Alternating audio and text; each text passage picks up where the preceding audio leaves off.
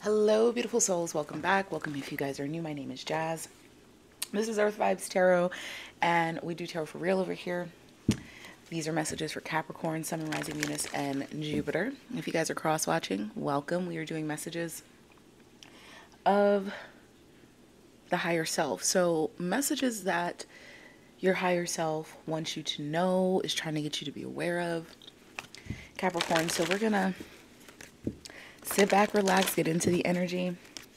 I would appreciate y'all so much. Thank you for spending some of your day here with me because you do not have to. And we are going to go ahead and get right into the messages, please, Spirit.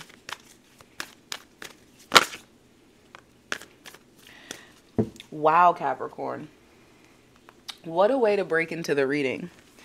You guys have full moon and new moon in your sign. You have the end of a tough cycle approaches and your hard work is paying off. I feel like this is a huge confirmation for a lot of you guys as it relates to the progression that you're going through here in life, as it relates to the awareness and uh, enlightenment that you are receiving here in your life here.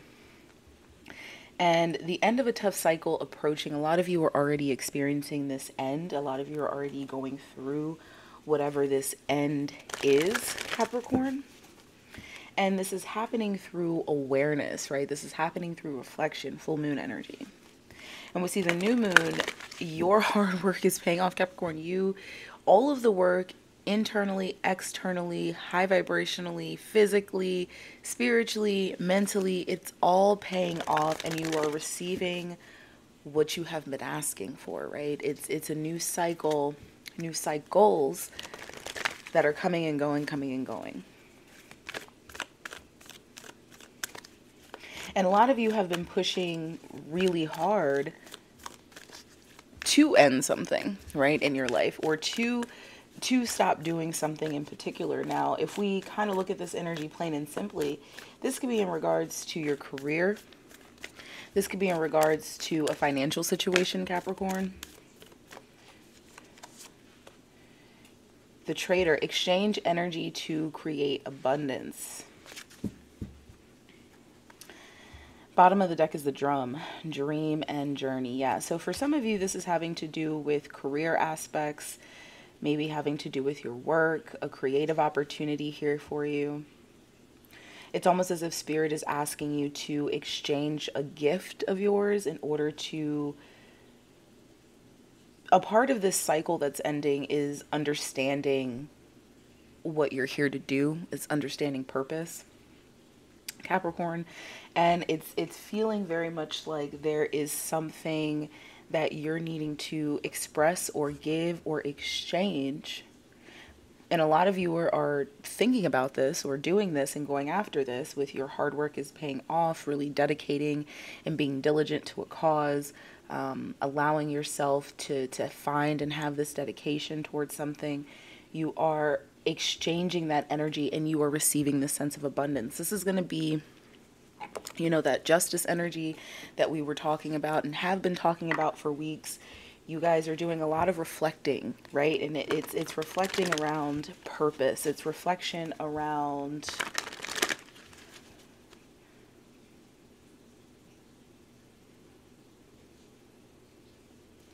you and the goals and dreams that you're going after. For some of you, for example, this is a personal goal, right? For some people, this could be about, you know, going to the gym, weight loss, ending a tough cycle in your mindset and your thought process. This could be about mental health, right? Very plain and simply, the things that affect us day to day. And exchanging energy is really allowing yourself to be involved with something in order to receive the blessing or abundance that is to come from it. All right, my love, show us more here, please, Spirit, for Cat. Thank you. So you guys got the Three of Michael, which is uh, Three of Swords energy. You guys have number 13 Peace.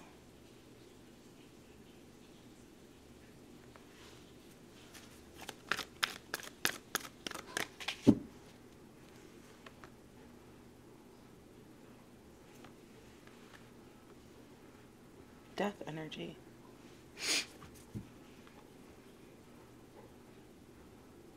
This is about this tough cycle, Capricorn. Release the past is the first statement in this is why I paused for a second because I'm like, wait, am I looking at the same? Release the past is literally the first statement in both of these cards. I don't think that that's a coinky dink here that's happening. I think this is really more of a message that's trying to be relayed. Release the past. You will grow from the situation that you are letting go of. And you know, a lot of the times we we think that this is all about physical. No, it's it's not. It's really a mental energetic thing and a lot of that is having to do with the repetitious energy of thought right? Your thought pattern. So if it's continuing to come up in thought, but you have physically let it go, it's not gone. Do you understand? There is a more enriching future coming. You will grow from the situation. Let go and let God. Let go and let the universe. Let go and let spirit. Let go and let yourself grow.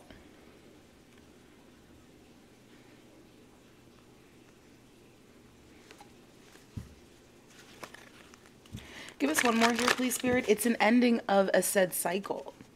And it's a realization here that I'm going to have to do something, give something, give myself in some manner in order to receive the sense of abundance that I'm receiving. And, and, you know, I know you guys are like probably sick and tired of my gym analogies, but that is one thing that I'm very passionate about. I'm very passionate about health.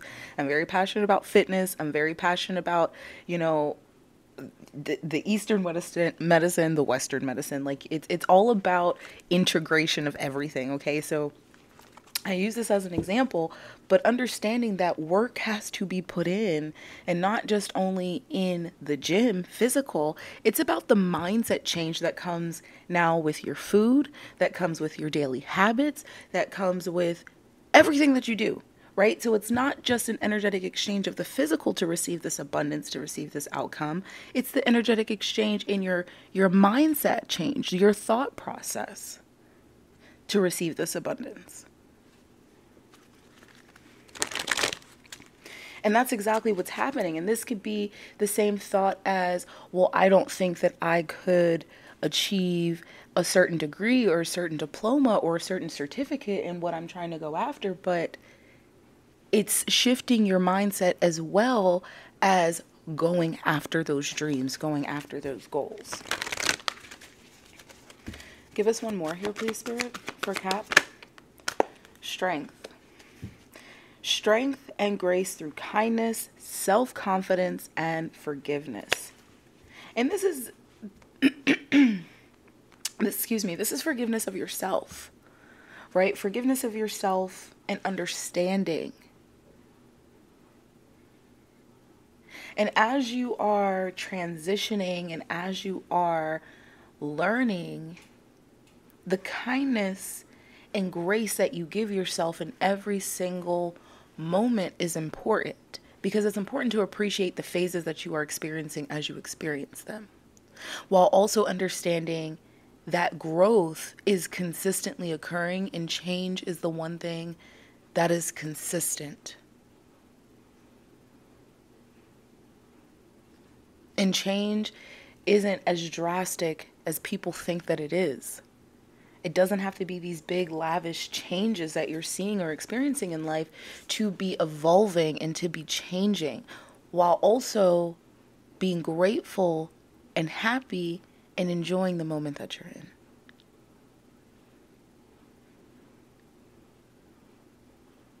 So let's Let's take a look a little, a little deeper here. Bottom of the deck is Knight of Ariel, which is Knight of Pentacles energy, with the Leap of Faith or the Fool card, and then the Page of Ariel or the Page of Pentacles energy. This.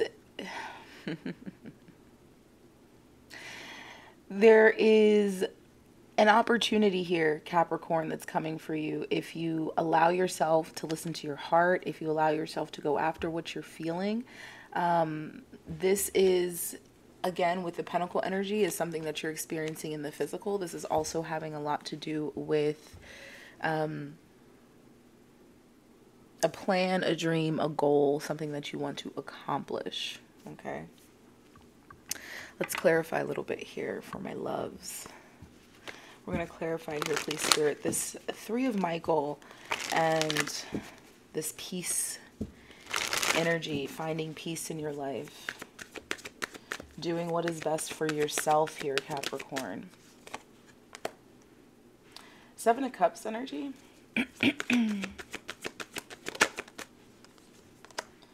Ten of Swords.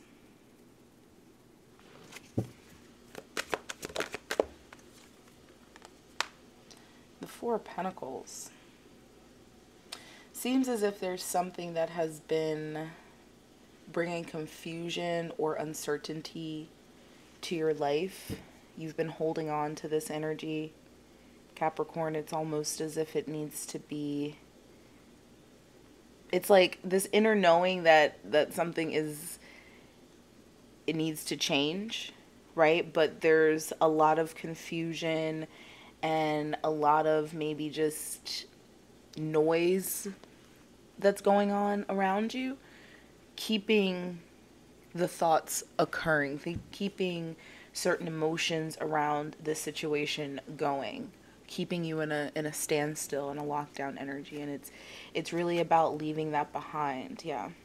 The sun three of cups empress and letting that go. And understanding that that it's okay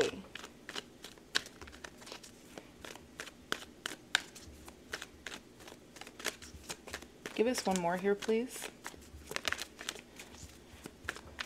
for the seven of cups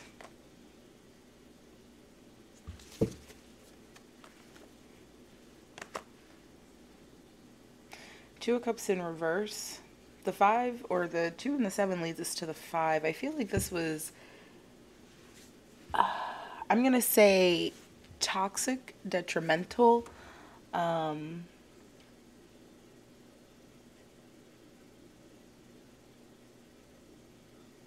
someone that was for themselves, right? Leaving you in a state of confusion or not understanding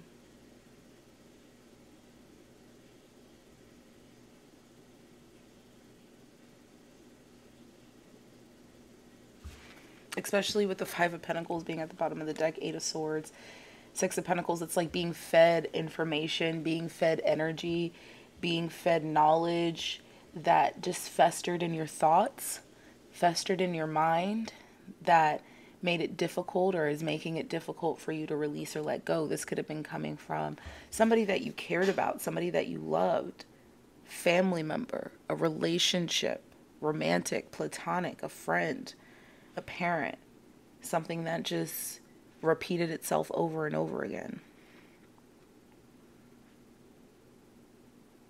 And it's like that was what was being held on to. That's what was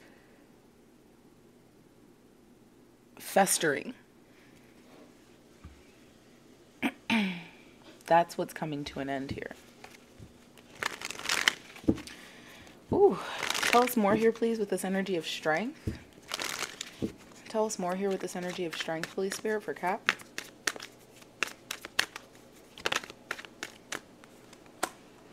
Five of Wands. Seven of Swords.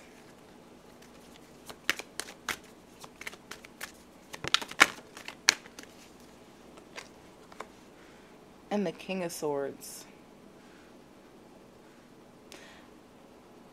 I almost feel like this is you facing and going up against opposition. This is um, information or truth or, you know, a truth basically. Maybe something that, again, it's it's something that you've been wanting to do but have a, had a hard time overcoming mentally and emotionally because of what was being fed to you, um, said to you, repeated to you over and over again, and realizing that that was not true. That's not what was authentic to you, that's not who you are. Um, and you're finding this strength, this courage within yourself, this confidence not only to forgive, but to basically stand up to these these opposing energies that you're experiencing and that you're feeling.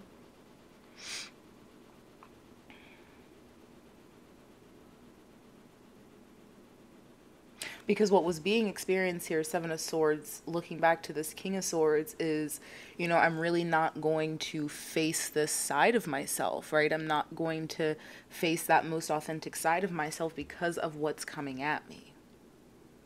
It's almost easier to surrender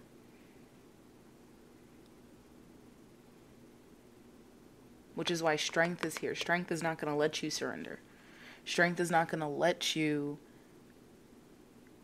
have this energy dwell on you.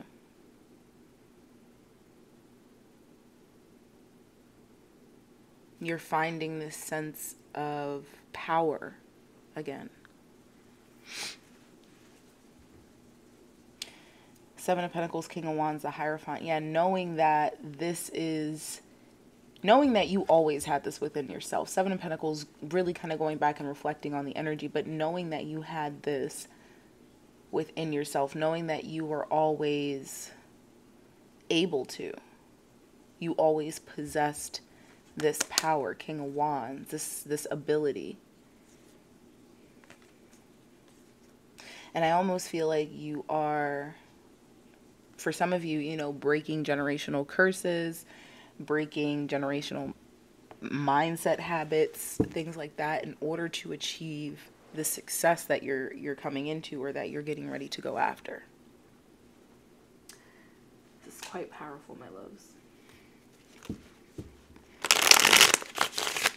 Show us more here, please, Spirit, for Capricorn, Sun, Moon, Rising, Venus, and Jupiter signs, please. Show us more for Capricorn, Sun, Rising, Venus, and Jupiter signs, please. So you have the King of Air again, so King of Swords energy, Libran energy. You have the Cross. I'm sorry, guys, my washing machine is going crazy.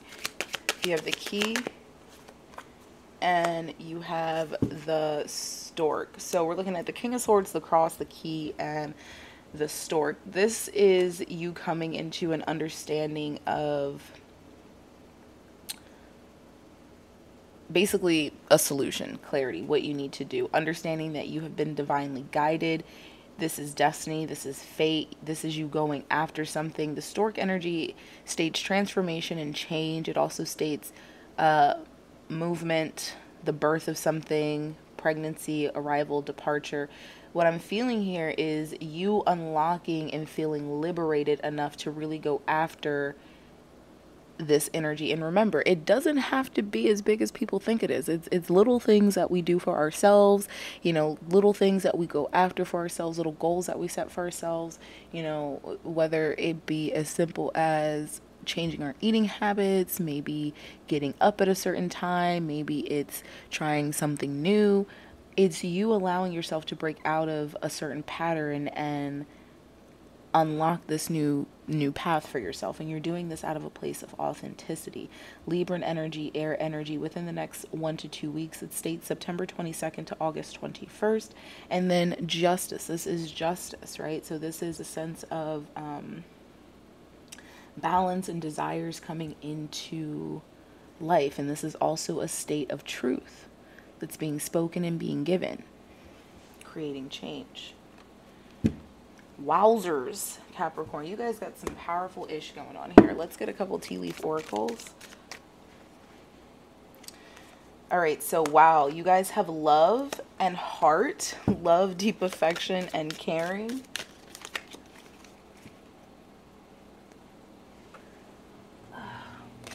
With the funnel, period of frustration, lessons to be learned. Oh my God. I swear, I knock over everything. That was a selenite ball. And then you have the dogs. Getting together with friends, the apple, temptation will test you. Give us one more here, please. And the chain, a chain of events that will affect your life. Capricorn, this was very powerful. I hope you found this insightful and that it resonated. If you did, y'all know what to do. Smash that like button, leave a comment down below, and I'll speak to you in the next one.